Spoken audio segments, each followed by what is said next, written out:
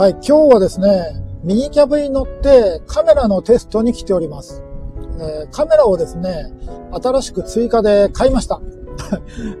今までのね、あの中華アクションカム、車用で使ってた中華アクションカムはどうしたかっていうと、あれも持ってます。で、あれとは別に、えー音声の収録がですね、結局、まあ、ワイヤードのマイクだと、ちょっと面倒くさいんですね。うんいろいろと。だから、ワイヤレスでマイクが使えないかということで、で、まあカメラを新調したということです。一応ですね、そのマイクをワイヤレスで使うセット自体は持ってて、で、それはあの、カメラを選ばず、どんなカメラでも、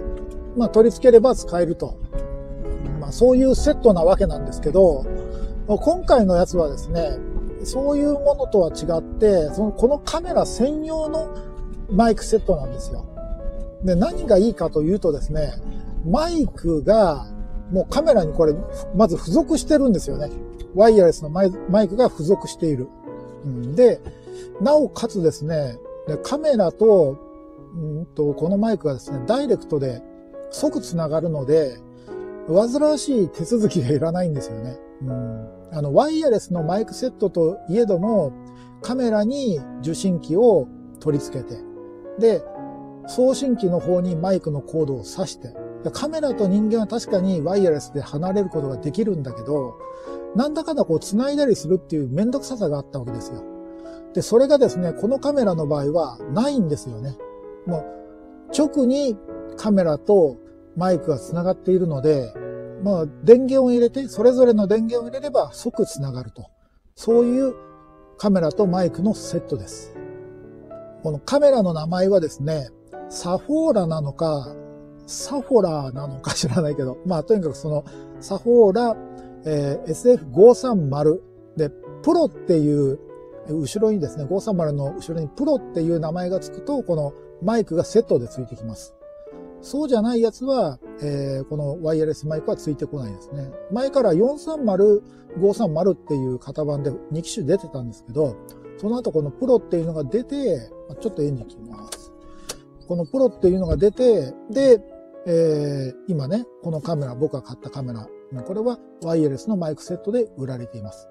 アマゾンでですね、通常17,800円なんですけど、それがですね、今、えー5000円引きになってて、で実質1万3000円ぐらいで買えたんですね。でずっと欲しかったんですけど、在庫がなかったんですよ。この間見たらたまたま在庫があって、なおかつ値引きしてるんで、今買っちゃえということで購入しました。それでですね、まあ、ワイヤレスであるということをちょっと証明するために一回車の外に出ます。で、今、車の外に出て、これで今、車からどれぐらいだろう？?5 メートルぐらいかな ?5 メートルぐらい離れてます。で、このまま、さらに横に移動していきます。で、車の周りをぐるーっと回ってみますね。これで、まあ、音声は多分取れてるとは思うんですけど、あちなみに今ね、えーマイクは、襟元のところにクリップで止める。そう、クリップでこれ止めれるんですよ。でクリップで止めております。はい。で、こうやって今、車に戻ってきました。で、これで、まあね、ちょっと今日テストなんで、撮れてるかどうかちょっと博打なところ、後で再生再生してみないと何とも言えないんですけど、まあ多分撮れてるんじゃないかなと思います。で、マイクレベルがですね、マイク側で、こう、ボリュームの調整ができて、4段階できるんですよ。今3で撮ってます。なんか4だとね、音が割れるとかなんとかっていう話を聞いたので、うん、とりあえず今3にしてます。今ね、車の窓が開いてるんで、風とか周りの音とか入ってきてると思うんですけど、どんな感じでしょうか？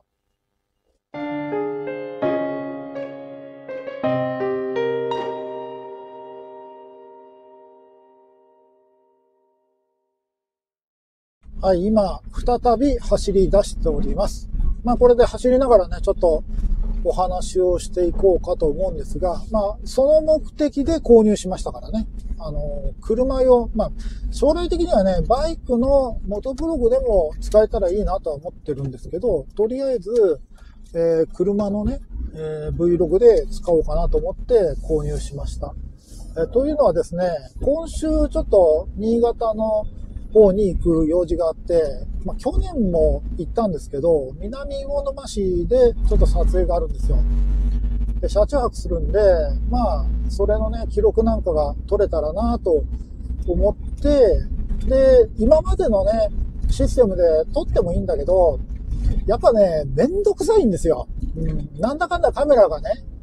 あの、最大2台必要になって、えー、室内を取り出すと、あと、こう、まあ、走行ログを取るための、まあ、それはね、今まで使ってた Apex カムっていう中華アクションカムがあるので、まあ、それでいいんですけど、ただその、ワイヤードでこうマイクを引っ張ってですね、で、喋るわけですけど、それもね、どうもよく取れないんですよね。うん、声が明瞭に取れないので、結局後処理でね、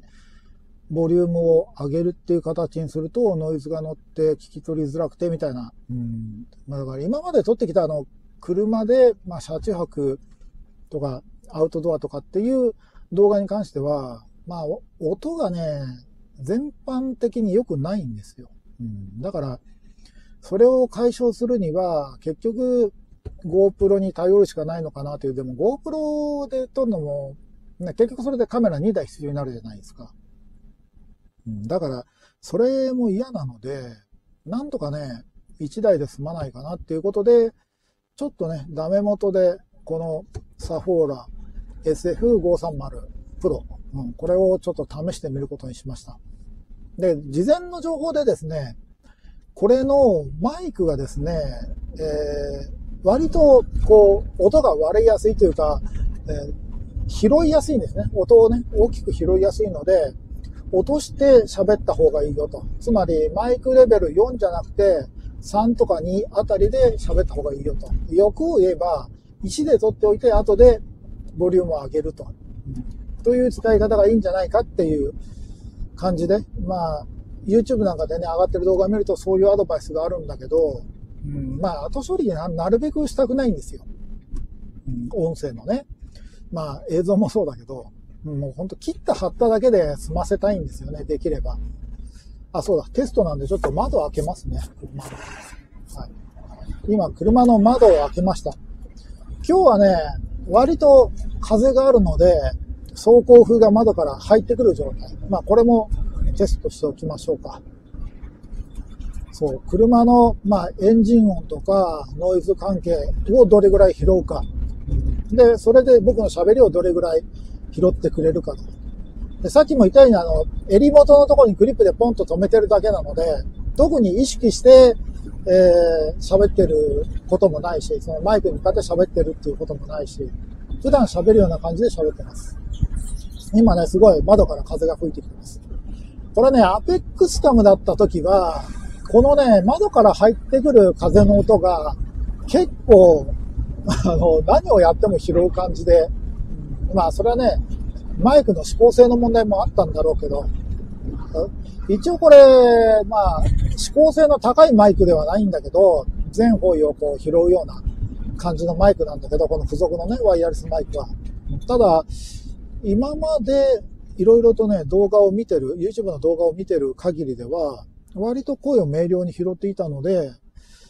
まあ、窓からの走行風に関しては、そこまで今心配はしていないです。これ今ね、1060p で、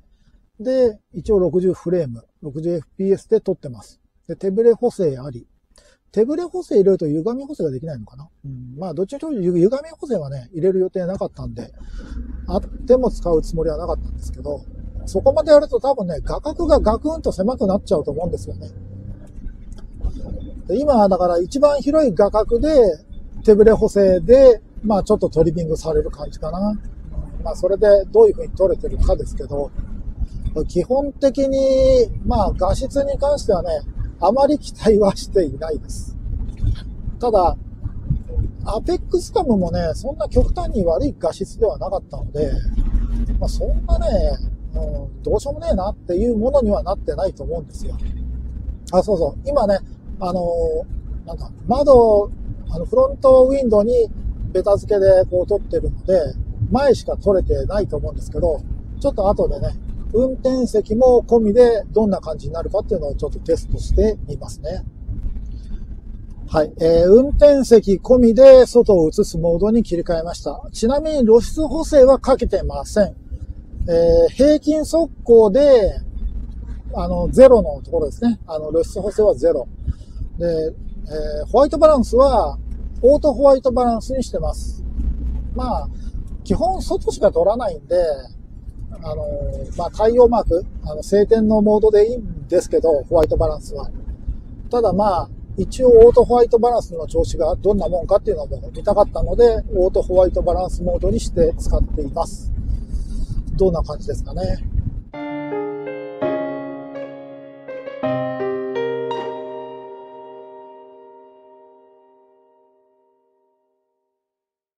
はい。今またカメラをですね、フロントグラスべったりに取り付けて再スタートしております。はい。窓からビュービュー風が入ってきてます。この状態で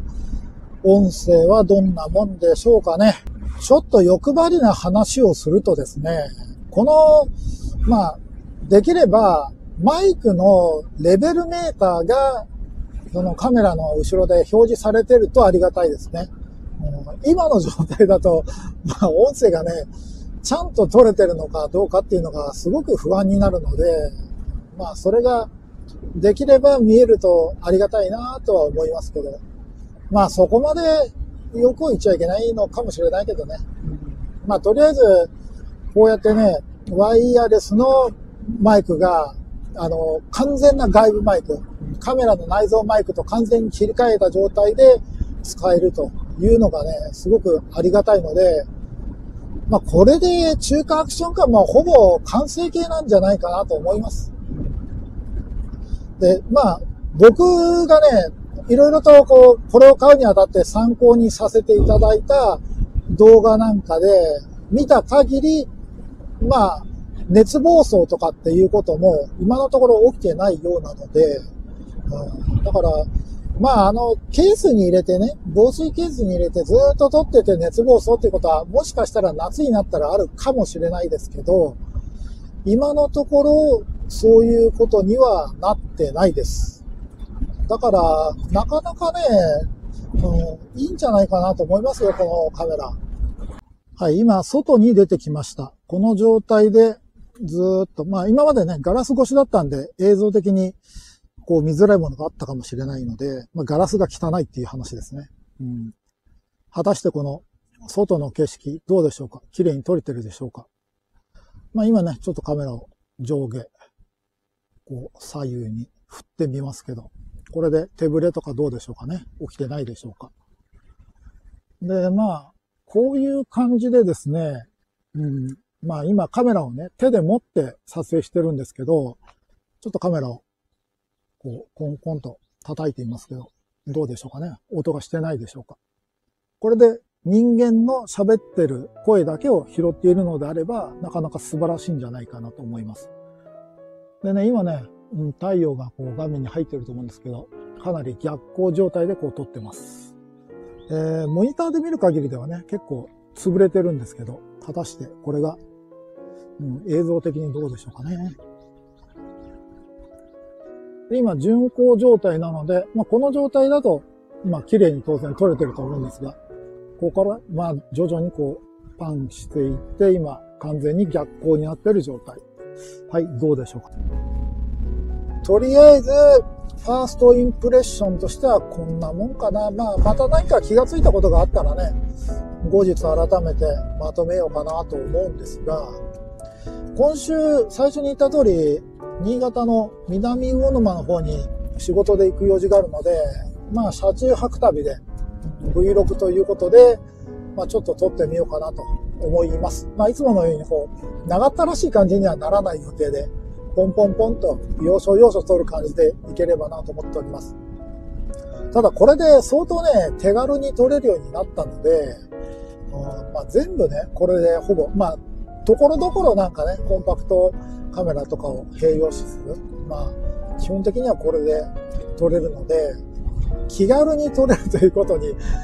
調子に乗って まあ、だらだら長く撮ってしまうという可能性もあるんですけどね。そういうわけで、えー、サフォーラー SF530 Pro のファーストインプレッションでした。